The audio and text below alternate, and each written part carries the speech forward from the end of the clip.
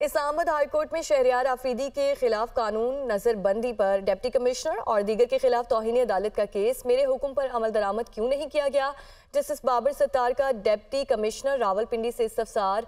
Record keeper छुट्टी पर था, इसलिए ताखिर हो गई। डेप्टी कमिश्नर रावलपिंडी की जानब से ये कहा गया है तो आप खुद रिकॉर्ड देने आ जाते, हाई कोर्ट ने हुक्म दिया था। ये कैसे हो सकता है कि हाई कोर्ट ऑर्डर करे और इस पर अमल दरामद ना हो? इसी पर बात करने के लिए मोहम्मद इमरान हमारे साथ मौजूद हैं। इमरान, बताइए।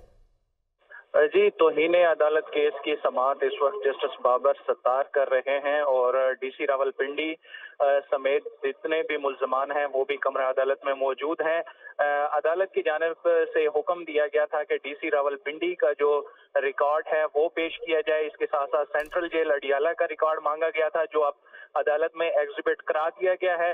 दौरान समात थोड़ी सी तलखी भी हुई जब एसएसपी जमील ज़फ़र के वकील एडवोकेट शाखावर ने अदालत से ये इस्तः की कि हम चाहते हैं हमारे मौकफ हमारा मौकफ है कि इस केस को किसी दूसरी अदालत को ट्रांसफ़र कर दें। आ, साथ ही जो डीसी इस्लामाबाद के वकील हैं उन्होंने भी कहा कि ऐसा लगता है कि जैसे अदालत एक मखसूस जहनीत के साथ केस को आगे चला रही है, इसलिए मुनासिब होगा कि किसी और अदालत को केस ट्रांसफ़र कर दिया जाए। ताहम अदालत ने वाजे किया कि तीन माह हो गए हैं। हमने पहले से ही बताया था कि ये रिकॉर्ड कैसे कलेक्ट होना है और ये कैसे प्रोसीडिंग चलनी है।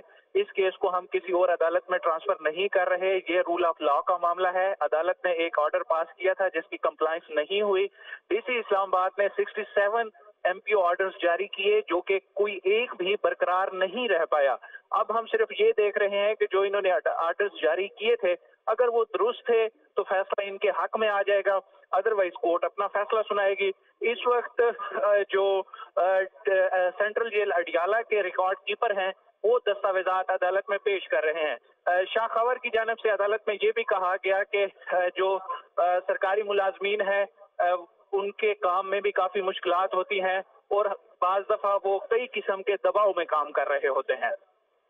जी ठीक है इमरान आपका बहुत शुक्रिया।